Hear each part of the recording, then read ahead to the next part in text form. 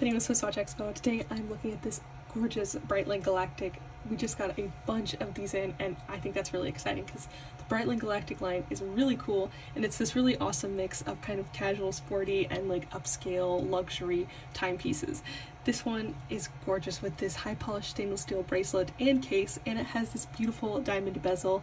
It does have this really sporty look to it but I absolutely love it. It also has these diamond hour markers and this gorgeous mother of pearl dial. I love the mother of pearlness. I also love the detail that there is some kind of texture in the middle which gives it a lot of depth to it especially with the second subdial which has a kind of guilloche effect as well.